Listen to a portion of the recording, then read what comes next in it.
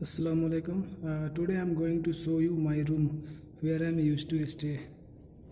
Uh, this is the gallery where we are going right now, and and and, and you can see this way.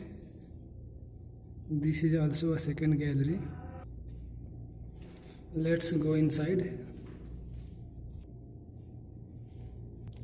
And my room number is 508 and I'm going to this is the my room. This is a refrigerator. And it's a bed. This is our full room. Okay. This is a almirah. This is the gate. This is a washroom. And the most important thing that's I'm going to show you Show you put it down. The clock tower.